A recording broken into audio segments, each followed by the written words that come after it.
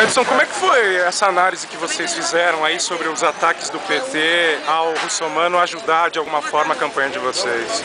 Não, na realidade o que aconteceu é que, como eles utilizaram a crítica na televisão, quando o Haddad, quando o russomano começou a cair, caiu no conjunto da cidade. Portanto, também caiu em áreas onde ele havia é, alcançado votos do PSDB. Então, no final, a estratégia utilizada pelo PT acabou beneficiando todo mundo, inclusive. PSDB acabou beneficiando o Chalita.